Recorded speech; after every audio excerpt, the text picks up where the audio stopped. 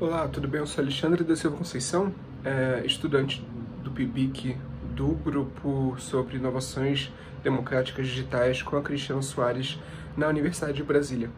E é crescente e notável a participação de diversos atores é, em temas de caráter social e urbano, principalmente né, ativamente propondo soluções e movimentações para lidar diretamente com assuntos específicos dentro de um contexto social. Desse modo, organizações de sociedade civil, setores privados e públicos buscam por soluções inovadoras para tratar problemas públicos e, assim com isso, surgem as inovações democráticas digitais, que visam responder às adversidades por intermédio principalmente da tecnologia. Né? As IDDs, que é a abreviação, é, têm provocado mudanças significativas em diversas áreas, em diversas regiões e cidades, principalmente agora nesse contexto pandêmico, né? Uh, e esses são objeto de estudo de diversos pesquisadores que buscam compreender suas características, efeitos diretos e indiretos, e além de também analisar a participação, o envolvimento dos atores, dos, dos atores envolvidos e o conteúdo dessas inovações. Né? E para isso, para o mapeamento dessas inovações, foi realizada uma pesquisa documental e etnográfica virtual como consulta a base de dados do Latino e outros sites eletrônicos, né? É, e aí, com isso, com as inovações mapeadas, foram analisadas também é, as duas primeiras dimensões do modelo de avaliação técnico-político desenvolvido por Freitas, Capiberibe e Montenegro em 2020, e buscando se compreender as características político-institucionais e os efeitos indiretos da, é, das inovações encontradas. E para isso também criou-se uma planilha para gestão e tratamento dos dados, em que cada inovação foi classificada quanto aos indicadores das suas dimensões do modelo de avaliação, é, que nem eu disse antes.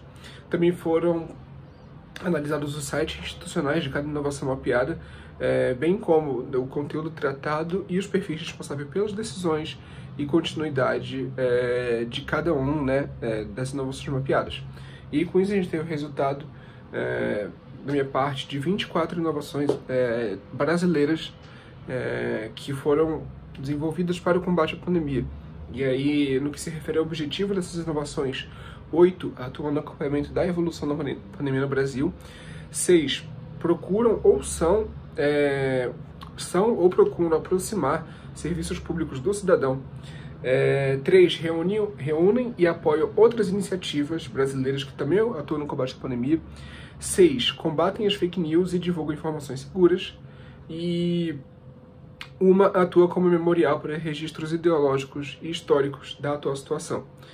É, com agora com, né, lente dos atores envolvidos, três foram desenvolvidas apenas por organismos internacionais e atuam aqui no Brasil.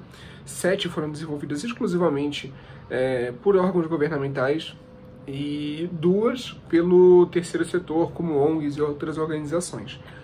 Um, apenas uma foi desenvolvida apenas pelo primeiro setor, perdão, segundo setor da iniciativa privada, e 11 iniciativas foram desenvolvidas a partir de redes multitoriais, envolvendo é, esforços do primeiro, segundo é, e terceiro setor, além de, claro, cidadãos também.